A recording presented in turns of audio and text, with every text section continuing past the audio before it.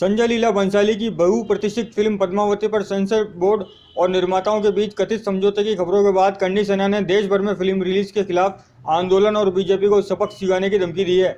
शुक्रवार को sensor board पर आरोप लगाते हुए सेना ने कहा, सेंसर चीफ प्रसून जोशी को हटा देना चाहिए। पूरी फ़िल्म पर सवाल उठाते हुए पूछा कि अब तक फ़िल्म बनाने वाले संजय लीला बंसाली जेल से बाहर कैसे है? कंडी सेना के नेता सुखदेव सिंह ओगामेडी ने जौहर प्रथा के उल्लेख पर नाराज़गी जताई। कहा जौहर इसलिए किया गया था क्योंकि माता पद्मिनी नहीं चाहती थी कि खिलजी उनके मृत शरीर को भी हाथ लगा सके।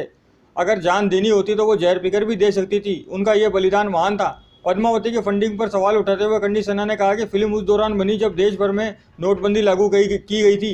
हमारे पास नोटबंदी के दौर में चार हज़ार रुपये भी नहीं थे और इनको फ़िल्म के लिए कहाँ से करोड़ों की फंडिंग मिल गई? सरकार इसकी भी जाँच कराए। कंडी सेना ने इस बात पर भी सवाल उठाया कि अब तक जब फ़िल्म को सरकार ने अनुमति नहीं दी और नई सेंसर बोर्ड ने अनुमति दी तो फिर क्यों संजय लीला बंसाली पर देशद्रोह का केस दर्ज नहीं हुआ? कंडी सेना ने संजय लीला बंसाली पर हिंदू संस्कृति को बेचने का आरोप लगाया। केंद्रीय खेल राज्य मंत्री, नेशनल शूटर राज्यवर्धन सिंह राठौर के अब तक इस्तीफा न देने पर भी सवाल उठाए। कहा, राज्यवर्धन माता पद्मिनी के राज्य से आते हैं। फिर भी उन्होंने अब तक इस्तीफा क्यों नहीं दिया? कंडी सेना ने पद्मती को रिलीज़ करने को लेकर बीजेपी को भी धमकी दी। कहा, आगे चलकर राजस्थान में तीन उपचुनाव है। बीजेपी की वादा खिलाफी का हम जवाब दे सकते हैं। हम बीजेपी को वोट से वंचित भी कर सकते हैं। 28 दिसंबर को पद्मावती को लेकर हुई बैठक में फ़िल्म पद्मावती पर लिए गए फैसले पर कंडी सेना ने कहा कि प्रसून जोशी को बर्खास्त कर दिया जाना चाहिए। केंद्रीय सूचना और प्रसारण मंत्री स्मृति ईरानी का भी विरोध किया।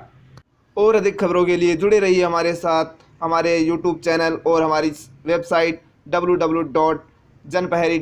पर और हमारे चैनल को सब्सक्राइब ज़रूर कीजिए।